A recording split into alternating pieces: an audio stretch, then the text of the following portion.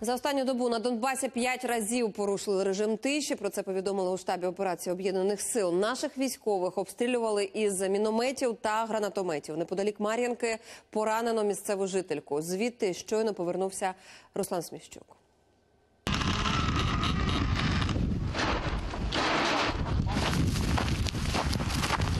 Хрусткий горілий степ та дуже потужний вітер. Так зараз виглядає дачне селище під окупованим Докучаївськом.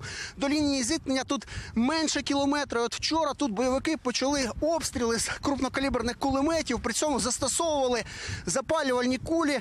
Тож е, загорілася навколишня трава, а дуже потужний вітер кинув вал полум'я на будинки. І почалася масштабна пожежа. Попри близькість лінії розмежування, тут все ще живуть поодинокі люди. Тут живе дві сім'ї. Дійсно, вони живуть тут, вони нікуди відсюди не хочуть. Це їхні домівки. Вони виходили, тому що як можна е, тут сидіти, коли йшло полум'я.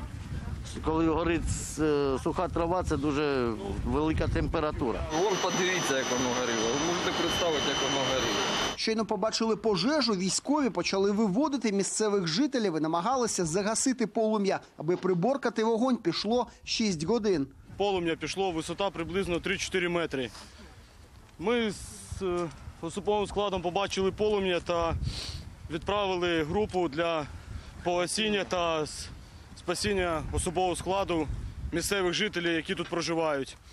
Видвинули спочатку, обійшли дома, які вже горіли, та спасали людей. Потім своїми силами питались загасити пожежу, щоб полум'я не пройшло далі подалі напрямку дороги. Військовим пощастило, що у цей час по ним не стріляли, адже тут зона постійної напруги. У цьому переконуємося на власні вуха. Тільки що ми почули вибух на Тириконі за моєю спиною. Це українські позиції. Схоже, що бойовики почали обстріл. Чи поодинокий це, чи буде серія вибухів? Ну от зараз треба слухати. Обстріли припинилися. Ми переїжджаємо вже на інше місце у Мар'їнку, що зовсім неподалік лінії зіткнення. Сьогодні тут було поранено 37-річну місцеву жительку. Противник здійснював обстріл одного з зводних опорних пунктів в межах відповідальності нашої бригади. І завдяки перельоту е, вийшло так, що людина, яка в цивільному секторі жінка йшла з дитиною своєю маленькою, отримала кульове поранення, наскрізне поранення з переломом плечової кістки. Наразі їй вже надали необхідну допомогу. Поранена в стабільному стані. З Донеччини Руслан Смещук, Дмитро Курченко та Валерій Соловчук. Подробиці телеканал Інтер.